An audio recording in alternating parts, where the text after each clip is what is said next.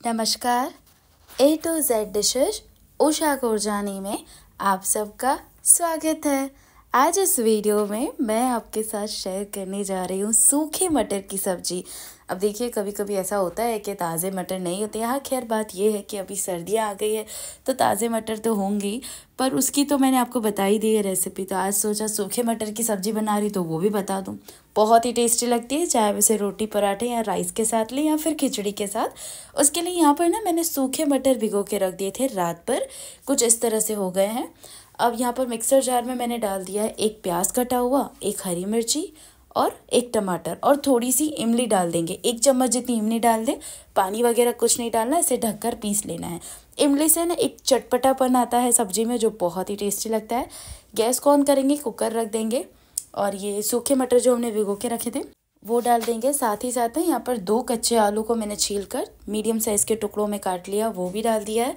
और जैसे कि मैंने आपको कहा, एक गिलास जितना ही पानी डालना है, ज़्यादा नहीं। कुकर का ढक्कन देते हुए इसे हमें तीन से चार विसल यानी कि तीन से चार सीटी आने तक पका लेना है।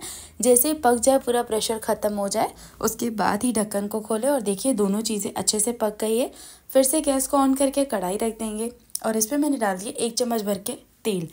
अब वो देखिए तेल जो है ना ज़्यादा गर्म नहीं होना चाहिए, तुरंत ही इसके अंदर आपको गर्म मसाला, लाल मिर्च पाउडर, धनिया पाउडर और हल्दी पाउडर, ये सारे मसाले आप अपने स्वाद के अनुसार डालें और तेल के अंदर इसे भून लें। गर्म तेल में डालेंगे तो सूखे मसाले तो वो जल सकते हैं, इसलिए ठंडे तेल में आपको मसाले डाल दें और धीमी आँच पर ही भूनना है। फिर जो हमने ये प्याज, टमाटर, ये सब पीस के रखा था वो डाल दें और इसे एक से दो मिनट तक लगभग भूनें। उसके बाद स्वाद के अनुसार नमक डालकर इसे और अच्छे से मिक्स करें और ये जो पके हुए सूखे मटर और आलू है, वो हम डाल देंगे। पानी के साथ ही मैंने डाल दिया है, ताकि एक्स्ट्रा पानी हम ना डाल सकें, वही पानी यूज़ हो जाए। और देखिए थोड़ा थोड़ा हम ना आलू को मैश कर लेंगे, ताकि इसकी जो ग्रेवी है, वो थोड़ी सी थिक हो जाए। अब इसे हमें खुलाई पकाना है, तकरीबन पाँच से छः मिनट के लिए। बीच बीच में मिक्स करते रहिएगा और पकाते रहिएगा। सब्ज़ी बहुत ही आसान है, और इमली आप चाहें तो स्किप कर सकते हैं मतलब नहीं डालें, कोई बात नहीं। पर इमली से सच बता रही, स्वाद बहुत ही अच्छा आता है तो ट्राई कीजिएगा।